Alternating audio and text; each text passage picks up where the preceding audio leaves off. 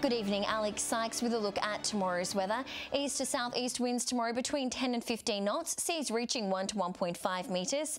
A mixed bag tomorrow, Port Augusta and Quorn both expecting showers and 25 degrees, Whyalla 21, Port Lincoln partly cloudy and 22, 23 in Wudinna and Broken Hill, Port Pirie 22, Clare reaching 19 degrees, and Adelaide partly cloudy and 23.